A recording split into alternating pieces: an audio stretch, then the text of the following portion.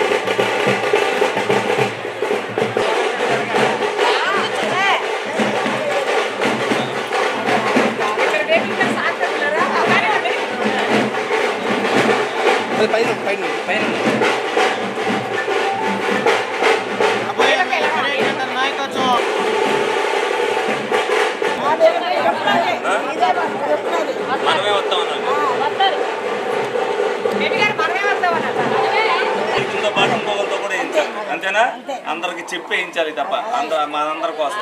ఓకేనా? అది ఓకేనా.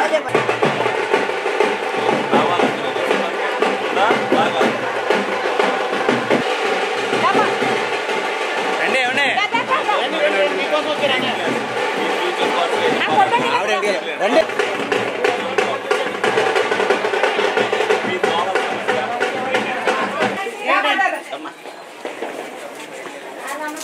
అమ్మా అందరిని తప్పనిసరిగా ఈ సమస్యనే వాళ్ళు బ్లీచింగ్ కొట్టట్లా పొగ కొట్టట్లా ఇది డ్రై- పెనాయిల్ ఇట్లా డ్రైనేజ్ ఇట్లా.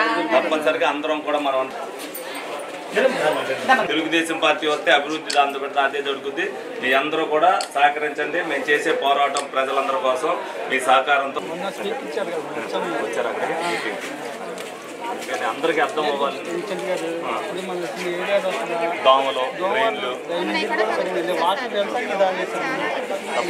రోడ్డు కూడా లేదు. Hundred percent. మొన్న మొన్న వచ్చి బుజ్జి గారు నాన్నగారు వచ్చి రావడిగా చేసి అక్కడ శిలాపలకం వేసి మళ్ళీ కనపడతాం కనిపించలేదు. మళ్ళీ రెండు రోజులు అయిపోతుంది అన్నారు కాలువ కూడా. అవుతూనే ఉంది. అంటే ఎండింగ్లో రావడం కోసం శిలాపలకం వేసాడు ఇక్కడ రావాలంటే ఏదో ఒకటి కటింగ్ చేయాలి కదా రిబ్బన్ కటింగ్. తప్పనిసరిగా మీరందరూ కూడా అది ఆలోచించండి. మళ్ళీ ఎప్పుడు ప్రజల్లో ఉండే నాయకుడిని మీరు ఎన్నుకోవాలి. అదే సార్ మనకు కావాల్సింది వేరే ఏమన్నా ఉంటే చెప్పండి రేట్లు పెరిగిపోయినాయి మా నాయకత్వం. లాలి నారా చంద్రబాబు నాయుడు గారి నాయకత్వం. లాలి బడట్ చంటి గారి నాయకత్వం. జై బడటి జై బడటి జనసేన ఐక్యత లాలి తెలుగుదేశం జనసేన ఐక్యత! వర్దిల్లాలి తెలుగుదేశం జనసేన ఐక్యత! వర్దిల్లాలి తెలుగుదేశం జనసేన ఐక్యత! పట్టుకోండి పట్టుకోండి. తెలుగుదేశం జనసేన ఐక్యత! చంద్రబాబు నాయుడు గారి నాయకత్వం! నారా చంద్రబాబు నాయుడు గారి నాయకత్వం! వడేటి చంటి గారి నాయకత్వం! జై బడేటి అందరూ రావాలి మనం రావాలి అంటే నీ ఓటుతో పాటు ఇంకో ఓటు కూడా వేయించాలి అది వాళ్ళకి చెప్పి వేయించాలి అప్పుడే మనం సర్వనాశనం అయ్యాం మనం బయటికి రావాలి అంటే మళ్ళీ తెలుగుదేశం జనసేన రావాలి వస్తేనే మనందరికీ భవిష్యత్తు పిల్లల భవిష్యత్తు మన భవిష్యత్తు రాష్ట్ర భవిష్యత్తు అంతా మీ చేతుల్లో ఉంది. ఎవరు ఎన్ని చెప్పినా సరే రేపు రాబోయే రోజుల్లో తెలుగుదేశం పార్టీకి ఓటు వేస్తే మనందరం. ఆ? చూస్తున్నారా మీరు టీవీలు అన్నీ. రోజు వార్తలు చూస్తారు మీరు.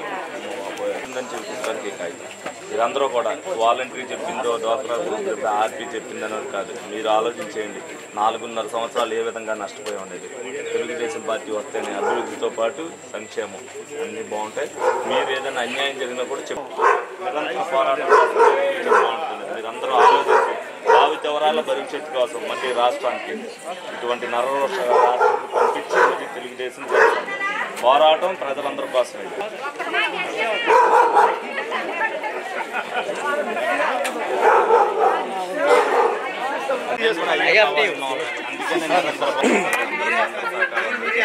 ప్రజల కోసం నిరంతర పోరాటం చేస్తున్నాం కాబట్టి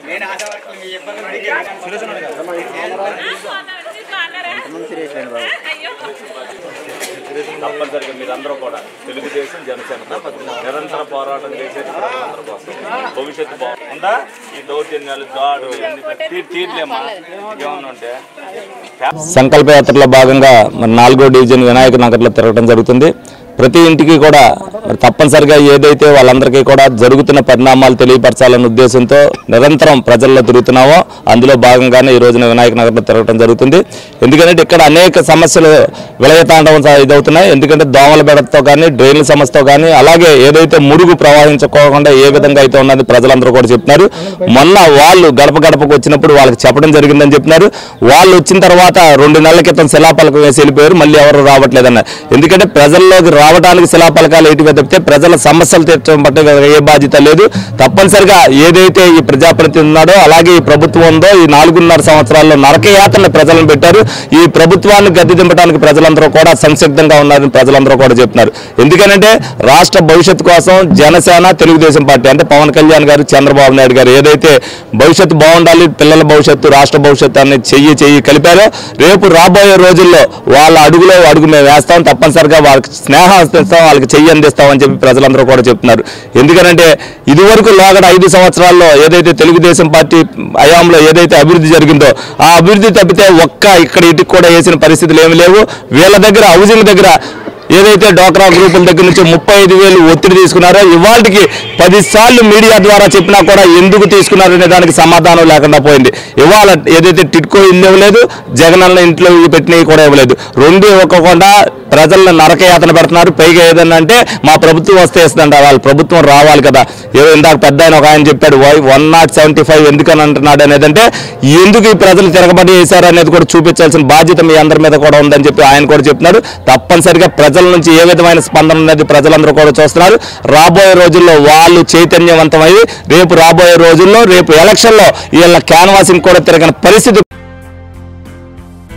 మన ఏలూరులో అత్యాధునిక వైద్య సదుపాయాలతో అతిపెద్ద హాస్పిటల్ ఆశ్రమ్ హాస్పిటల్. అనుభవజ్ఞులైన వైద్యుల పర్యవేక్షణలో గత ఇరవై నాలుగు సంవత్సరాలుగా వేలాది మంది రోగులకు అత్యున్నత స్థాయి వైద్య చికిత్సలు అందిస్తున్న సంస్థ. మా హాస్పిటల్ నందు MRI one point five Tesla CT scan mammography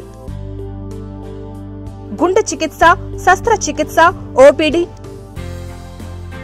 operation theatre blood bank central laboratory physiotherapy AC ప్రసూతి సంరక్షణ గదులు కలవు. మరిన్ని వివరాలకై సంప్రదించండి. Nine four nine one zero double four eight three six మరియు nine four nine one zero double four eight double four.